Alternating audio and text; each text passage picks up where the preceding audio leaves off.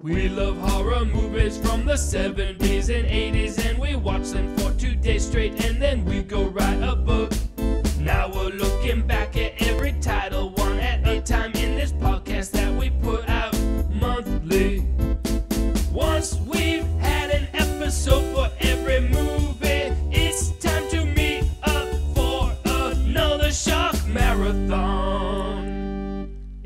All right. Uh, the red record light is red, and we're here for uh, a shocking and exciting episode of the Shock Marathons podcast. We're here, as always, with Charlie Roxburgh Hey. and Tom Scalzo. Hello. But today we have um, uh, movie director Dave Payne with us, Hi, everyone. Welcome. Hey. Hi. Thanks for having me. all the way from L.A. Dave Payne, who's got a uh, a great resume, including uh, the Reeker movies. Uh, what what else? Um, what else is on your resume, Dave? Uh, if we go way back to the 90s, um, I started working for Roger Corman. So I have a whole bunch of movies on my IMDb page that I barely remember. Um, nice. Yeah. I mean, do, do you guys remember Showgirl Murders? We How I do. about, yeah. I've seen it. I was just telling someone I met some Corman people the other night, and, and I was recalling and remembering that two of my movies were on Entertainment Weekly's worst named movies of the year in like 2000. Or no, it was like 1996 or something. That, was Alien, great. Alien Terminator, and, uh, and and the aforementioned Showgirl Murders. None of which were the names when we shot them. Not, not that the names when we shot them were much better, but well, Dave Farley just came up with the, uh, a name for a next movie we might make. Do you do you want to tell it, Farley? Well, Tom, it's really Tom who came up with it. Tom. Well, then Tom can tell. This would have this might have made the list. Non-negotiable diner inheritance. Oh, That's- uh, nice. That's Farley put the diner in there. never have those never have those words been together, but there's No, uh, it, it, it, it tells it, it tells it like it is because someone being Farley will inherit a diner, but he doesn't quite want to. The diner is cursed, and the deal can't be negotiated. nice. It writes itself from that point forward.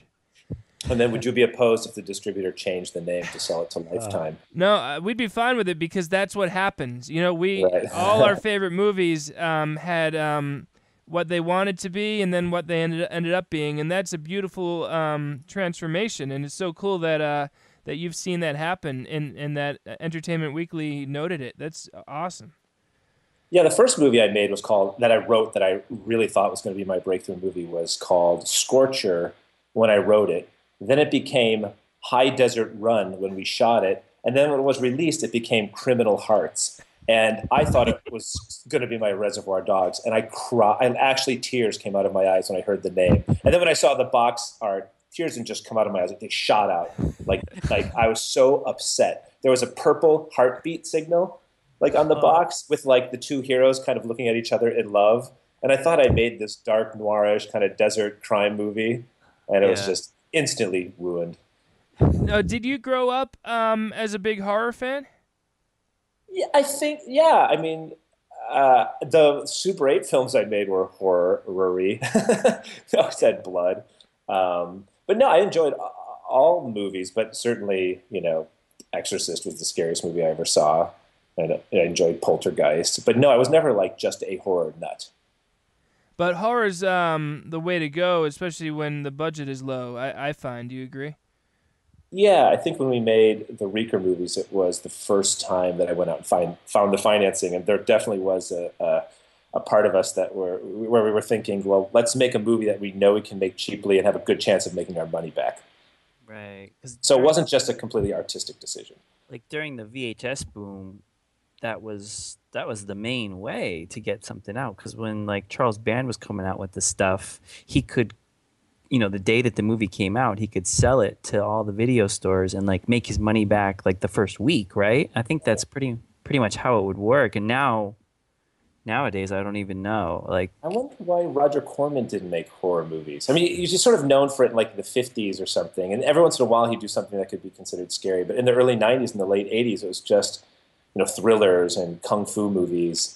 And I wonder if they just I wonder if horror didn't have the same international appeal, and Roger knew something. Like there were like three territories that wouldn't buy the blood and guts. You know, but Charlie Yeah. Band was making them so cheap that he didn't even need that extra hundred thousand dollars from Turkey or wherever it wasn't selling. Right.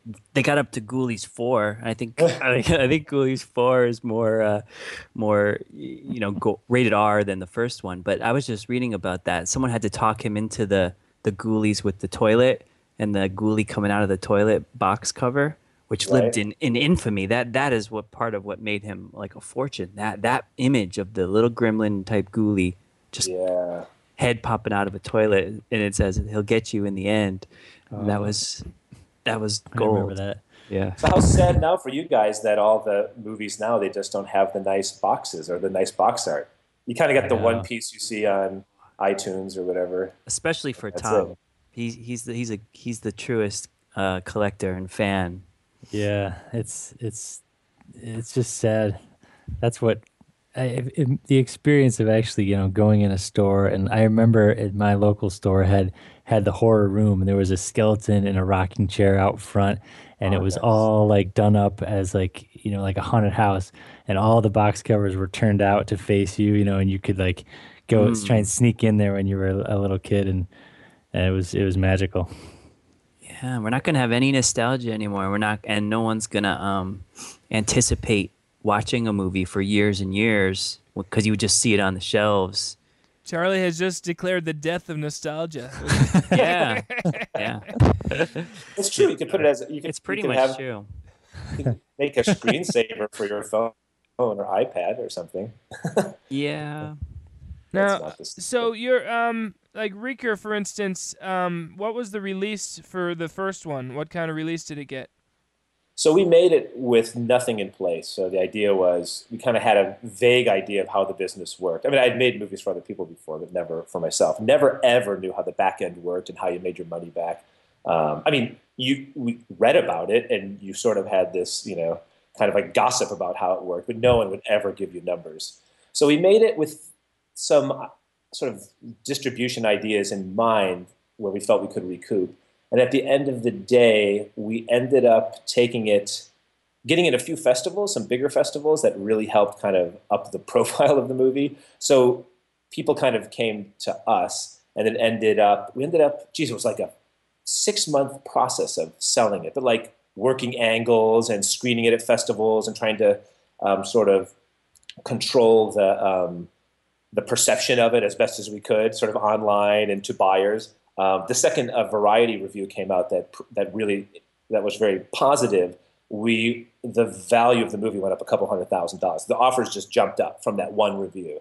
Wow. Um, so it's interesting. So at the end of the day, we weren't necessarily because we just wanted to learn about the business and make a little money. It wasn't about getting it in theaters necessarily. It was about sort of getting the best deals and just learning about the business that way. So we ended up selling it to Showtime and sort of Paramount Home Entertainment in this country, and the rest of the world, we sold it to a bunch of different distributors. We had a foreign sales agent, um, and he just each territory kind of did something different with it. In a bunch of territories, it had wide theatrical releases, like in uh, France and the UK, um, tons of screens. Um, in the US, it just went straight to video.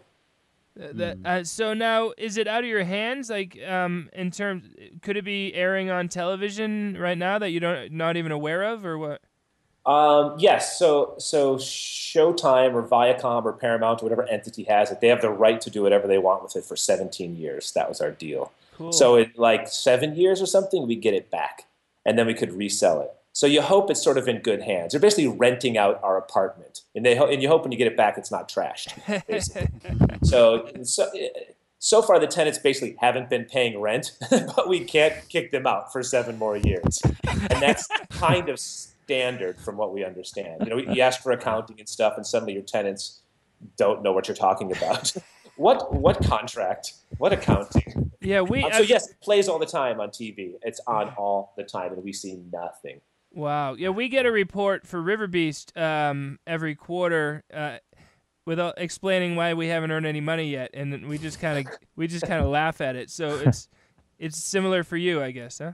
Yeah, you do your best to control it, and, I, and to a certain extent, everyone understands that whatever money they give you in advance is basically all you're going to make off of it. I mean, Oh. unless it's the next Insidious or whatever. But I think by the time we sold it, we knew that there was not a mechanism in place to make it the next big thing. Nor do we think it was the next big thing or ever could be it, but it just it it sort of ran its course, and we just you know did the best we could with it. Well, it's it's out there. It's in the conversation. That's pretty awesome, Charlie. on uh, on those reports, Dave, they have a line for miscellaneous charges against the movie, and it I think they put in seven hundred and fifty dollars on the nose is the miscellaneous charge. Always. It always, yeah. like, Maybe there's a oh. good like restaurant right around the corner that everything's exactly ten dollars, including tip, and they take the office out. yeah, no pennies. Like throw us a bone and do like five hundred and twelve dollars miscellaneous. It's just it's just an insult to. Well, I guess in theory you could. I mean, they always say you can you can hire accountants and and, and, and, and have it audited. But that's a very expensive thing. So you have to really believe there's money there. Yeah. But it does scare them. You know, the right legal letter apparently scares them. You know, we hear stories all the time, and the right, like some lawyer, a lawyer I know can just mention the name of a certain accounting firm, like, and then there's some tr- key lawyerly word that you can say, like about the books and this accounting firm, and they'll immediately start sending you honest statements. Ah, yeah, that's cool. we just don't think there's much in it, you know, anymore. So it's not worth like trying to go down that path. Yeah. Yeah, yeah. We didn't even get it. We got zero up front on top of that. So, so No, uh, we, we paid to to to buy the to buy the hard drive and then put the master on there and then send it to them. that's funny. And did you have to get E and O insurance? No, they covered that, which is nice. That was good. yeah. Yeah, that was nice. And I'm sure they marked that up fifty percent. now, what do now for the sequel? Um, how did how did that work? Uh, we, I, I, I felt there were some unresolved issues that I needed to like get out there about the story, and then we also just had this. We had a nice sort of uh, system in place to get, let's say, a Reeker movie or a horror film out there. And uh, so the, a lot of the buyers that bought it around the world had success with it, and they wanted another one. So I guess you know, it sounds kind of terrible, but it was sort of a safe bet to make. So at the time, uh, I think we wanted to start making a lot of these types of movies.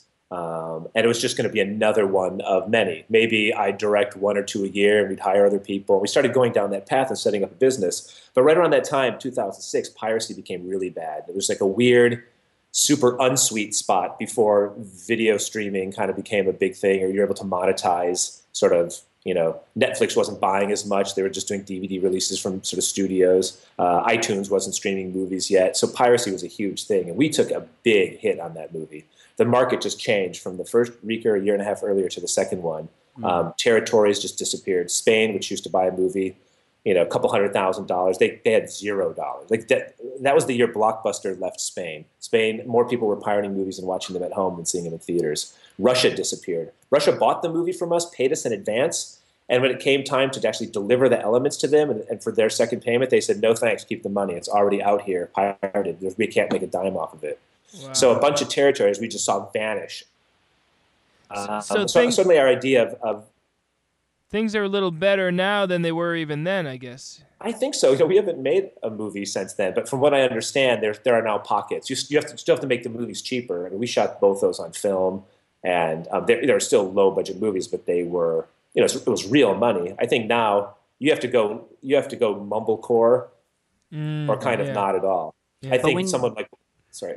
Oh, th- but then don't don't they have to be packaged together, Dave? Like you can't just make a small one and then unless it gets really really good festival stuff, you can't just approach Netflix or anybody and get any money. It it has to be somebody who has it as a package. When you see like, you know when you were scrolling through and there's like the funny B horror movies that are streaming now, none of those people deal directly with Netflix. No, unfortunately, there's still, from what I understand, you have to. It has to be packaged, whether by yourself with your Yeah. own content or a distributor. They just don't pick up the phone for the guy who has the one movie, And which is a shame because you want to you want to cut that thirty percent out. You're giving that that distributor who's basically they'll just want to give like two hundred fifty dollars or, or or something for the rights for like streaming for like years or five hundred dollars or something. Really, I think, right? yeah.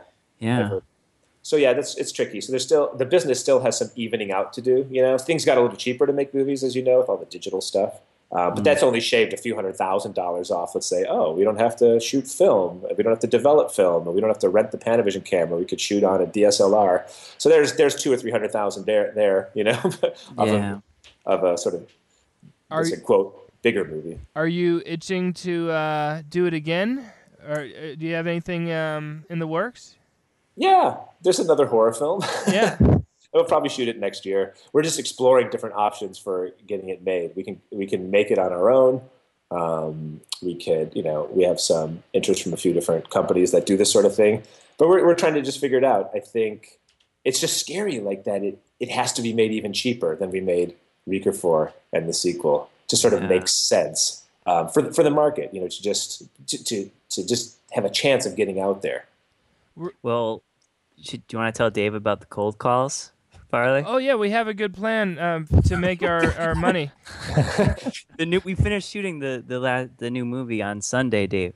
Oh, great! The, the cops movie, yeah, Slingshot Cops. And what we're gonna do, I don't know if I have the um, the the fortitude to do this, but we talked about just dialing random phone numbers, like a telemarketer, and just encouraging people to stream the movie on Amazon. Hello, sir. My name is Matt Farley. Just finished a new movie called Slingshot Cops, and uh, it would really make my day if you if you rented it on Amazon.com for a mere four ninety nine. How how about that? Wow. By the way, I bet if you got into the swing of it, it wouldn't be so hard. You know, the first 20 rejections, you'll get like, you'll get Yeah. people saying yes. It's genuine too. It's not. Yeah. uh, and it it's not- doesn't sound illegal. It's not like you're trying to raise money to make a movie with cold calls, because that's Right. illegal. right. It, it And here- is Yes. interesting. Uh, and here's my other idea. I just came up with this today. Door to door, right? Door to door with with a briefcase that you could pop open as a tablet in there. Sir, would you like to watch the trailer to a new supernatural buddy cop film at the doorstep? Why, Uh. yes, I would.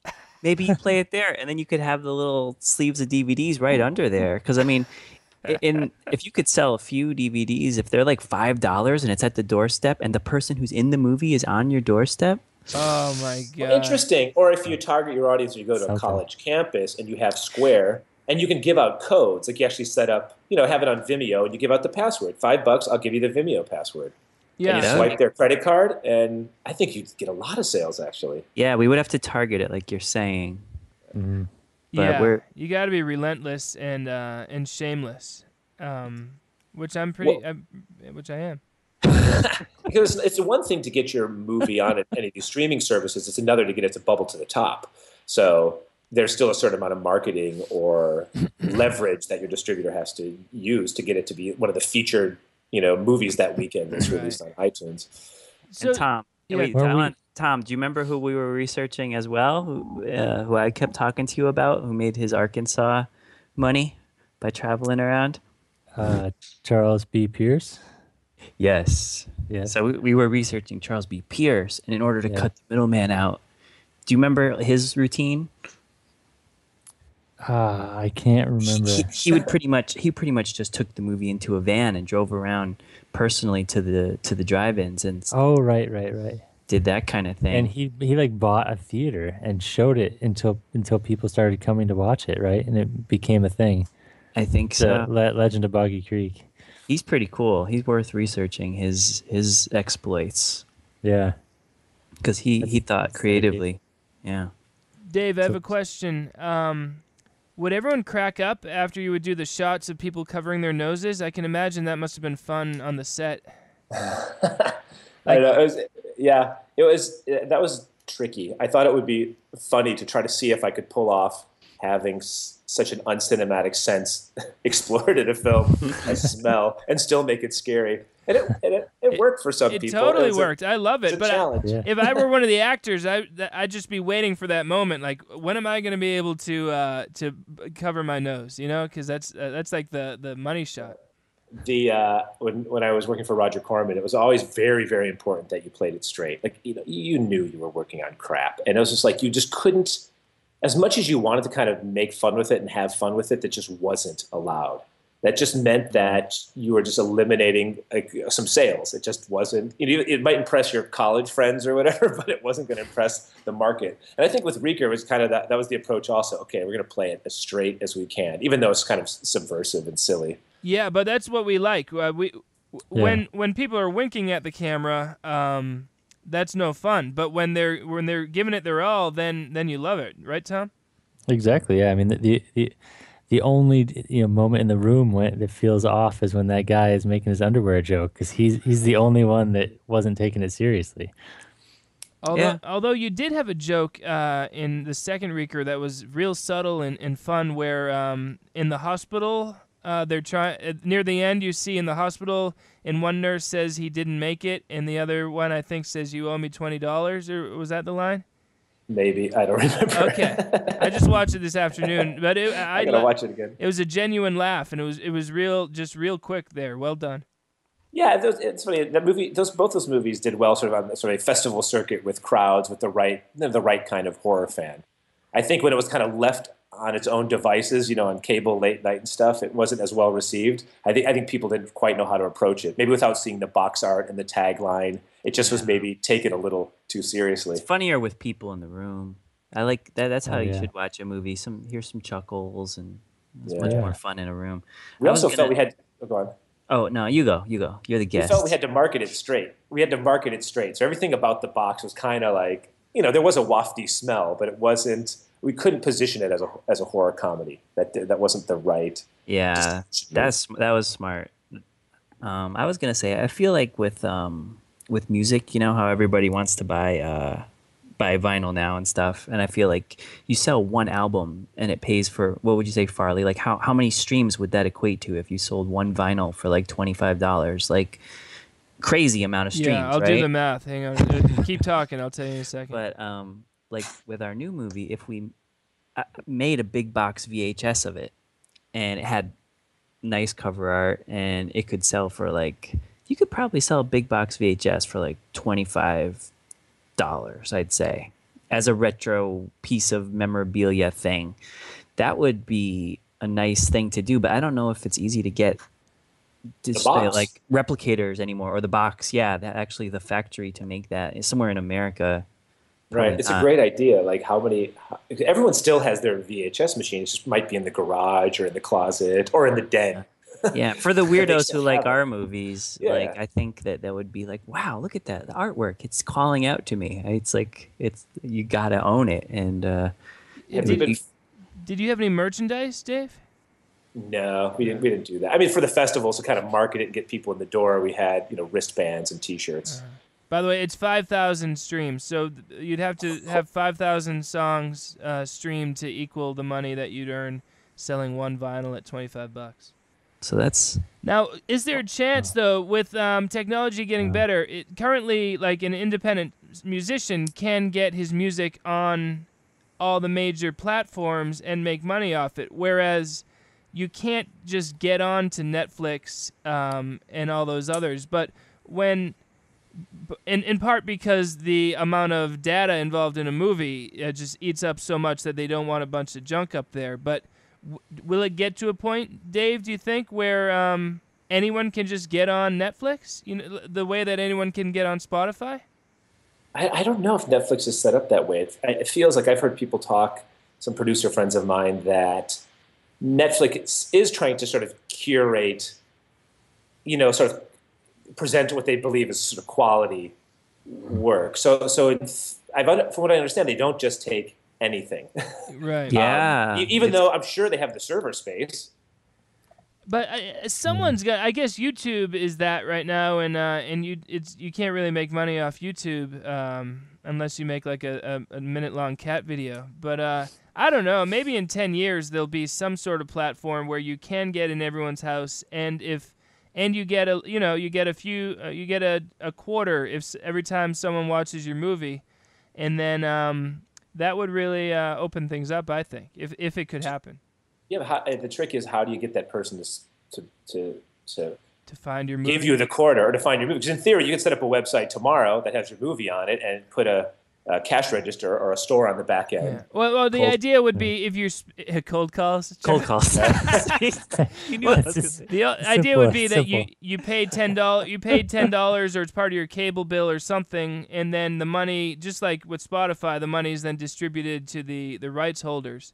And the way people would find it is that um, you come up with titles that are very similar to popular titles. That's that would be, that would be my trick at least. yeah whole asylums do doing that And then the mon- the monetizing on YouTube is interesting because you I've heard you don't make as much off, let's say, the ads per se that are running. But if you have enough subscribers and enough people watching your videos or video or whatever, um, you would make the money as sort of branded content. So you would you would have to find some sponsors, you know, some local Yeah. car dealership or something, and um, and that's where these people really make the money. Although on YouTube you're buried with a long form. You know, you got to keep is it terrible. Yeah. You got to have a million short videos. I, we have our one long Freaky Farley up on YouTube, and it, it has made me when, counting in the ads I've run, like neg- I'm negative ninety two dollars right now on Freaky Farley on YouTube. But what's awesome though is that you know that YouTube exists as an app on Apple TV. So in my room with my big TV, and I turn on Apple TV, there's YouTube, and I'm typing in the words Freaky Farley away from watching it nice in HD on my TV in my living room. Yeah, that's But true. how do you how do you yeah how do you intercept that and make a little money off of it? Yeah, I guess the way you got to do it is, um, I don't know actually. we haven't heard the last word on what Apple's going to do because the iTunes never was good for movies. I mean, we had Mm-hmm. one movie up there, but someone had to download over a two gigabyte file to watch it, and pe- who's going to want that big of a file on their iPhone or iPad to to live there and to wait like half an hour or whatever for it to download? There's they, they have something coming. I just don't know what it is. Right now we have fast internet at home, and it's you, I think you're basically streaming it. You're not downloading it. But I Oh. could go and buy a movie and instantly watch it in HD on the big screen, and it works well. But it, to Oh, download okay. it, you're right. It will take an hour or so. It's super sluggish. To, to own it locally, yeah. it'll take some time. But there's no Yeah. reason to. All the movies just exist in the cloud, and as long as you have fast enough internet, you're just streaming it. So you don't have to take up your hard drive space anymore. Yeah, ours was uh, when when it, when it came out. People had to. I guess this was a couple years ago. So for Manchvegas, people were owning it locally, and they had to download for all that time and then take up so much space on your phone or your device. I have an idea. How about when you're taking the show on the road and you're going door to door, um, or you take the show on the road going door to door, you do Right. shows at night. So I don't know if this is working, but that um, the guy who directed Saw 3, um, um, Daryl Bousman, Bousman, he does that. He's, I think his last two movies, these sort of musical horror extravaganzas, he's taken the show on the road, like with a few sort of dancers and you know circus freak type people, Ah. in- in, like an indie rock band in a van, Mm. and they get people to come out and sort of do a. I guess they do a live show and then show the movie. Um, But Mm. geez, he is, not, as far as I understand, he's not going door to door or making cold calls while he's in those towns. Yeah, he he made it into an event. That's what you got to do. Make it into a night out. Yeah. Our other idea was was to possibly kill somebody off that's in the cast and start a big uh, big backstory about that. Yeah, if someone What? dies, yeah, if someone dies during the making of the movie, then the movie is considered cursed, like like Poltergeist, right? Uh, you know, everyone who was in Poltergeist died, and that's great um, advertising. Well, if you make a movie a year, you guys, and you maybe cast three or four people out of the hospital who probably, as a dying wish, might want to be in a movie, right? Because I'm sure they're out there. Want, have to be wanted locals. terminally ill, yeah, terminally ill actors wanted. Yeah. But terminally ill actors who have a certain social media rating, like on, on Social Blade, you must rank X, Y, Z. Oh, A 90 year old with like a good Instagram following.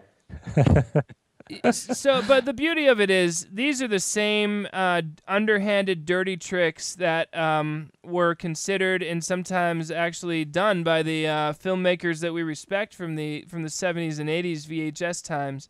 And uh, you know it's different problems but um, uh, you know different specifics but it's the same general problem which is you know how's the little guy uh, get it out there? So uh, um, it's pretty awesome uh, that you're what you're doing uh, on your own. So there will be another movie in the next uh, few years. There will, I think. Uh, yeah, I can't give it up, Um, as you guys know. yeah. So you know you went out you went out into the desert for the other two. Um, where's the? I don't want you to give away too much, but where This, would this one's take much place? more contained. It's all in a house. It's one of those house movies. Uh huh. But but it's a slasher movie. There hasn't been a good slasher movie in a while, or sort of a take on that that genre. Um, we're we're in the sort of era of uh, I call it the black blood era, the PG thirteen, you know, s- spirit movies where there's no you can't show blood because it won't make a PG thirteen. So that whenever there's liquid coming out of something, it's black. Huh. yeah. and uh, that's I mean that's done very well. All the, the Insidious movies and The Conjuring and Paranormal Activity they're they're great.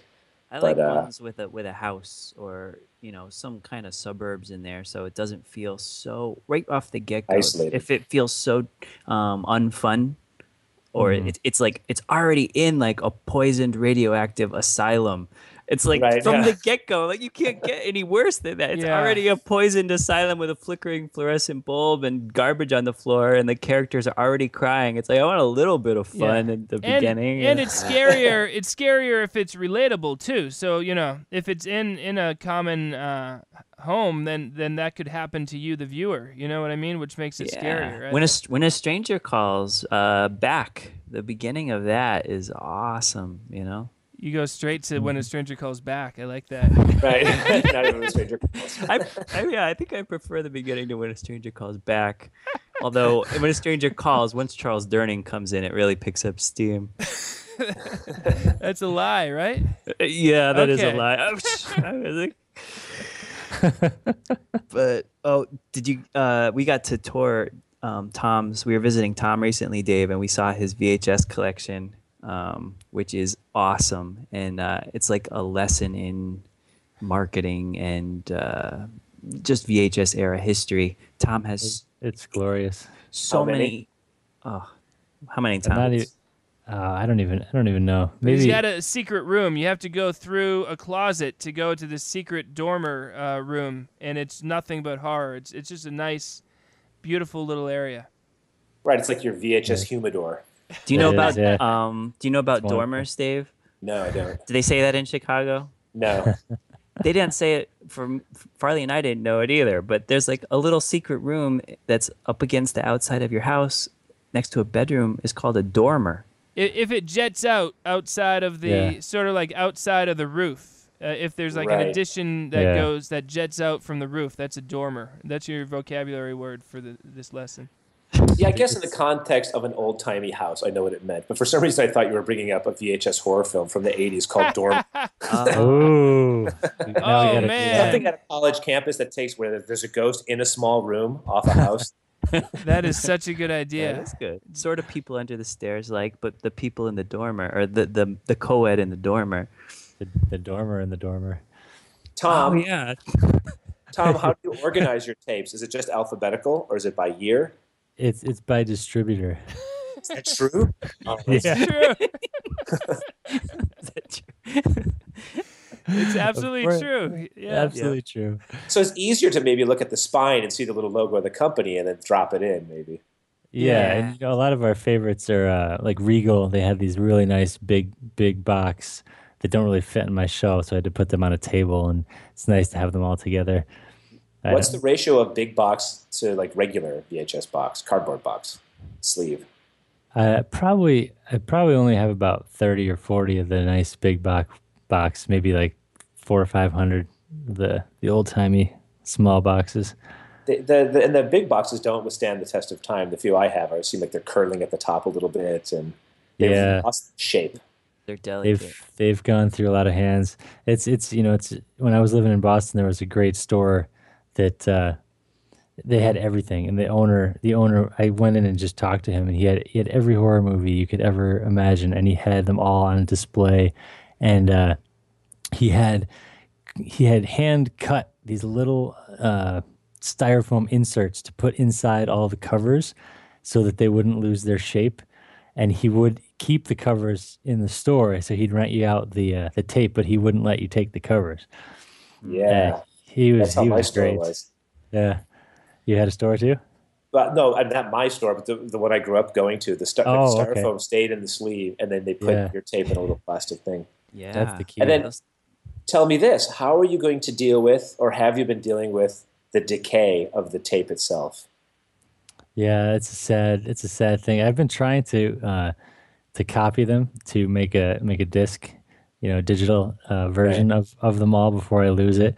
Because there's something about it, even if you have like a nice new Blu-ray that you can buy, having the the actual VHS experience, it you know, it kind of takes a few seconds to to get the uh, tracking set up, and then you hear those great notes of like active video or Vestron or whatever it is that Right. you know, it starts. Right. To, it starts. It, it, it, you can't match it. That's true. Like I digitized most of my music. You know, I had a bunch of vinyl, and then I bought, you know, replaced everything with CDs. Then when it came time to digitizing the music before all these streaming services were set up, I digitized all the CDs. But Yeah. it would have been better to go back to the vinyl to have the scratches and the Yeah. needle drops. And I never, Oh, I didn't yeah. think that. I just thought pristine. I didn't think character. Yeah, I've been slowly trying to work through them, but it takes a long time. Well, we won't keep you forever. This is uh, really cool. Maybe we'll just do last lightning round of uh, questions. I, I can start. Um, what was the bug situation uh, filming Reeker out there? Is it very buggy? Was it like the night scenes or what? I didn't was- see any bugs on screen. It was bugless. The first movie we shot in the winter, so it was super, super cold. So we had a problem fighting the actors, um, the the cold, whatever that smoky breath, the cold breath Mm. thing. And then the sequel was the dead of summer, so super hot and sweaty. But no bugs No bugs, out not in at the all. desert. Yeah. Desert is No, good for bugs. nothing Farley. dry. and and how long were you out there for for the second movie and out in the summer? Both, I think, we spent maybe 15 days in the desert, and then both had like a couple days in town in LA. Cool. And uh, I saw Charlie's legs, by the way. He did great job as the. His uh, torso is awesome. Whenever I'm talking to my kids about Charlie, and, and I have to remind them who Charlie is, I, I say he's the one in, you know, Reeker that you know is the legs of Reeker. Like, oh yeah, I love Charlie. well done, Charlie. Thank you. All right. Any, anything else, Tom or Charlie? Uh, no, it's just been great to great to talk about movies with someone who's who's been living it for for the official going through the trenches, and that's amazing. Yeah, there are very cool. trenches. That is true. Yeah. Well, since we just finished our other um other project, and we were so much like in desperation of thinking like, how are we gonna distribute this? We were we've just been brainstorming. So that's where the cold calls came from, and the uh, the door to door. Um, I don't know. Yeah, it's been having finished that project and then going on to the next thing of trying to get it out there It's been funny. Oh, and we're we're also doing a lot of teasers. I think for this one, Dave, a lot of trailers. That's a Like, good idea. Yeah, Like many many versions. trailers, all different Right. versions. We did we shot like four or five uh, in in like very quick, very quick like Farley in character, one take. They were Just WWF style. It was, you know, like um, Oh yeah, to the camera. to the Yeah. ca- exactly, just like how like uh, Hacksaw Jim Duggan would be like shouting at the camera, like "I want to bring you down." I was doing that, and uh, I had a blast. I don't know, Charlie. I did too. I did too. It was it was going pretty well. So I, I do my part. I wear my Slingshot Cops T-shirt around. oh, nice, Oh, Nice questions. yeah. Thank you. Cool. very cool. Well, uh, Dave, let's uh, do this again sometime. Awesome. Thanks for having me. Yeah, And I love listening to your show, so I'm a big fan. excellent, much Thank Thank appreciated. you. Dave, All right, pa- for for Dave, uh, Tom, and Charlie, this is Farley saying good night, everybody.